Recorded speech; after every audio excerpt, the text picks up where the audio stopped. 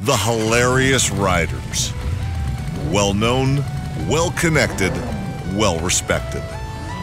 HilariousRiders.com.